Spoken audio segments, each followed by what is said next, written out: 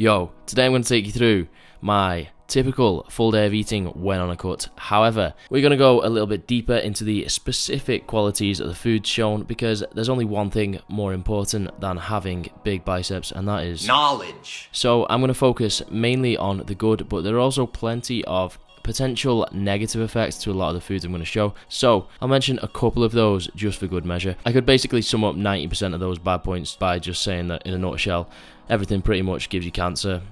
Pretty sure just being alive gives you cancer. But anyway, after that truly uplifting introduction, I want to thank Squarespace once again for sponsoring this video. More on that later, but for now, let's talk about food and stuff. Before I start, I just want to drive home the main two requirements of any diet aimed at fat loss. Number one, the individual must maintain a calorie deficit, i.e., must consume fewer calories than they burn. Number two, the individual must consume adequate protein, fats, and micronutrients to sustain overall health as well as exercise performance and recovery. Because there's no point losing weight if you're going to die or equally as terrible, lose all your gains. There are a few different ways you can set your calories, from methods as simple as multiplying your weight in pounds by 13 to 15, depending on activity levels, to the slightly more complex method of using the Harris Benedict equation to estimate your maintenance calories before subtracting 500 to put you in a deficit.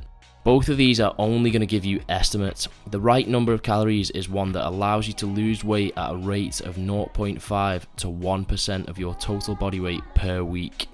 So the absolute best method is trial and error, monitoring and adjusting as you go. My calories will be 2,400 and that is made up of 150 grams of protein, 80 grams of fat and 270 grams of carbs.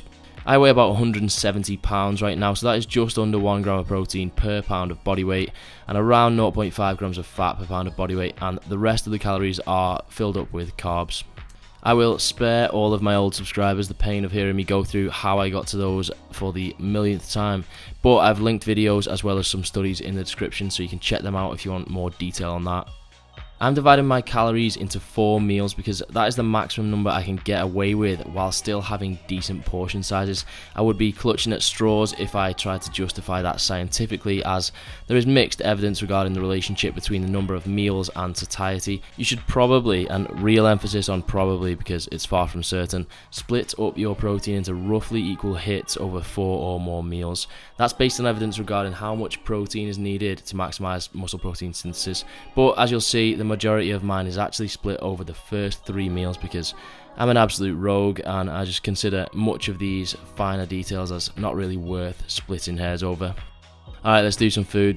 Okay, first meal of the day is a fairly low carb breakfast just because I like to save my carbs for later in the day. This will consist of 3 whole eggs and 100ml of egg whites scrambled in butter with some sun-dried tomatoes and fresh basil. We also have some smoked paprika, turmeric, dried oregano, oregano and Finally, some black pepper. Egg whites have the highest biological value of all protein apart from whey, which in layman's terms means a higher proportion of what you eat actually gets used. They're not particularly nutrient dense, but they do contain some potassium, vitamin A, B12, D, and also B2, otherwise known as riboflavin, which is needed to help prevent some eye conditions like cataracts and macular degeneration.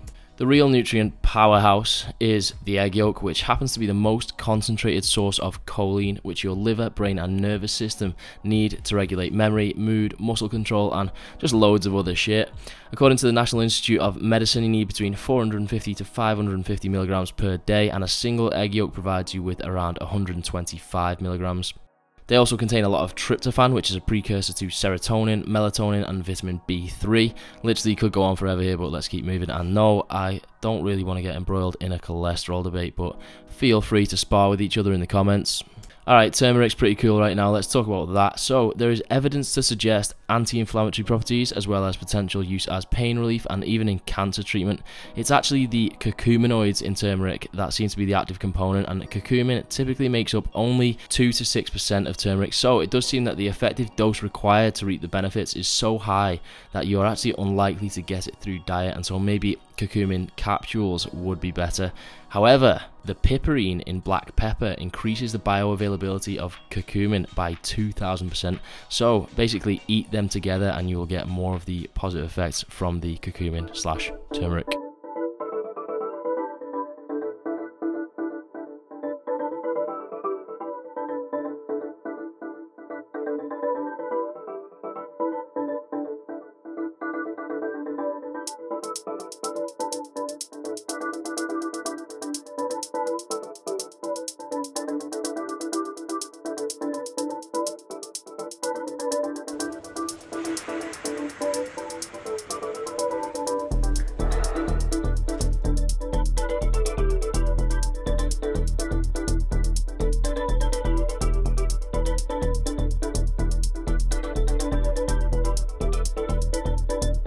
Okay, after breakfast, I'm just having an apple and a tangerine. Key apple fact. A study by Delaney et al. showed that an intake of one apple per day is an effective method of medical professional deterrent. Tangerines are pretty sick, aren't they? Basically, a little orange for people who don't have fingernails. Anyway, the tangerine hails from Tangier, Morocco, and one small one contains a third of your daily vitamin C requirement, which is good for your skin, blood vessels, bones, and cartilage, and most of all, prevents scurvy. I think that's the shit that pirates get. Okay, meal 2 is pretty simple and consists of some fat-free Icelandic yogurt, some high bran cereal and some blueberries. Let's talk about high bran. This shit looks a bit grim, but it is the god of fibre, specifically the wheat bran it contains. It's been linked to reduced risk of colon cancer, likely due to the high fiber content. You can see I ended on 47 grams of fiber for the day, and diets high in fiber generally help to lower blood pressure and serum cholesterol levels, plus a load of other good shit. Some, but certainly not all, types of fiber have also been linked with increased satiety, which might make it easier to stick to your calories if you're cutting like me. And wheat bran has been associated with improved digestive function and decreased reported feelings of bloatedness. So, the next time you see an Insta girl posting about bloating, you can tell her to eat some wheat bran. So the big one we hear about dairy is that it's good for your bones. You will see studies like this, but then you scroll down and also see this. I'm going to just stay out of that for now. It definitely does contain a lot of calcium and also B12 and if you become deficient in B12, well, that can proper fuck you up, mate. This particular skyr also contains a smashing 46 grams of protein, so that is nice. Blueberries contain outrageous levels of anthocyanin, which seems to be anti-cancerous. Basically, everything is either giving you cancer or stopping you from getting cancer. The antioxidants in blueberries also appear to aid brain function and delay mental decline.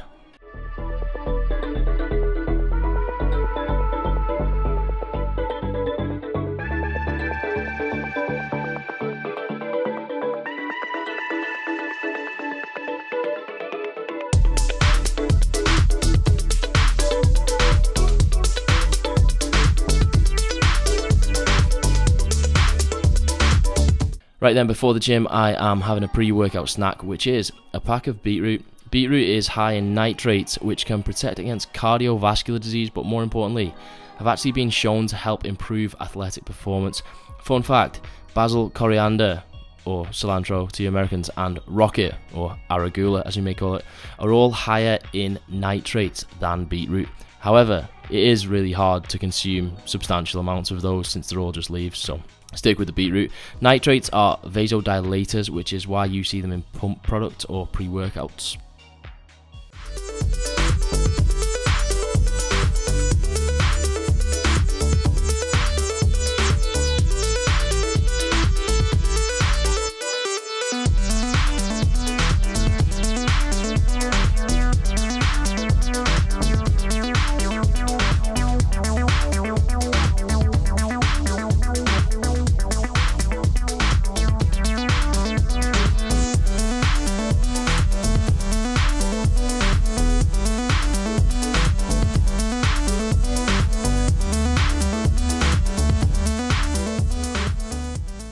Post workout meal, let's do this shit. Chicken breast, just a source of protein, really, but I will change tone for a second and throw in some potentially negative stuff. So, chicken has been found to contain phthalates, phthalates, which are man-made esters, mainly used in plastics and PVC. These are thought to be bad for male reproductive development when pregnant women are exposed to them, and have also been shown to correlate with higher BMI and higher waist circumference. One cross-sectional study found an inverse relationship between phthalate exposure and testosterone levels, which could obviously relate back to the aforementioned Okay, let's lighten up a bit. Tender stem broccoli is my favourite green veg, primarily because it tastes great and I like that you can just fry it easily rather than chopping up a head of broccoli and steaming it. Anyway, nutritionally, they are both pretty similar, but tender stem has way more vitamin A. Most of us get enough of this, but deficiencies are common in less developed countries. Potatoes are the king of satiety provided you boil them, and they also contain more potassium than broccoli or bananas, which is important for you to be able to generate nerve impulses and therefore muscle contractions. I use sesame oil to flavour the broccoli, but since it has a low smoke point, it is one of the oils that you don't want to actually fry in because guess what happens when it's heated and starts to break down molecularly? It results in more carcinogens, yay, so basically just more cancer. Anyway, on the flip side, if you don't do that, sesame oil is around 80% unsaturated fatty acids, particularly omega 6, and this study showed it to have a greater effect on reducing LDL levels than olive oil. Some animal studies have also suggested anti inflammatory effects.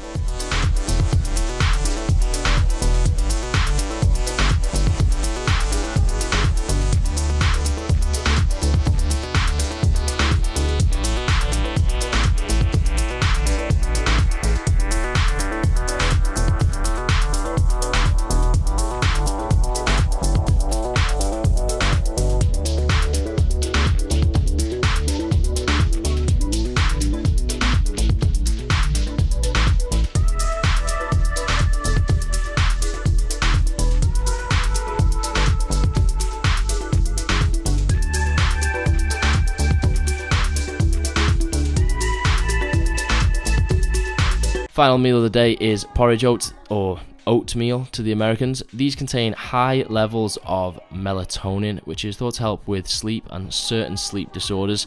I'll also throw a banana in there, which contains tryptophan, which is again thought to impact sleep through being a precursor to melatonin, as well as magnesium.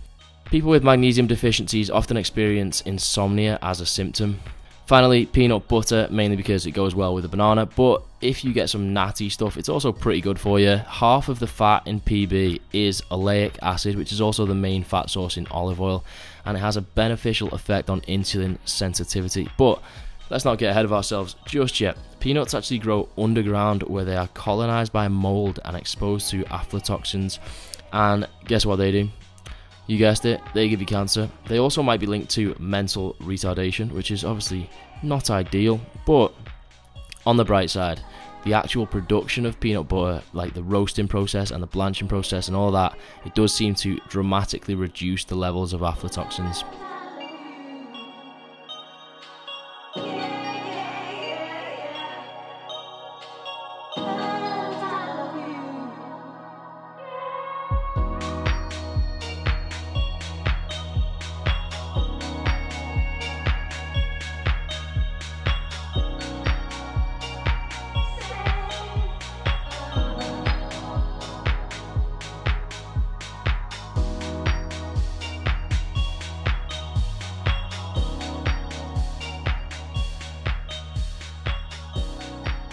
Yo people, hope you enjoyed the video. Before we go, I just want to talk about Squarespace who are kindly sponsoring this video once again. Squarespace is an all-in-one website platform that makes building your own website super easy mate. They have loads of cool templates that you can use to get started and then you can customize those templates pretty much however you want so that your website isn't going to end up looking like anybody else's. If you're a PT or anything like that, they even have features that will allow clients to book appointments or sessions straight through your website. And you can also set up email campaigns with newsletters or if you're having any particular sales or anything like that.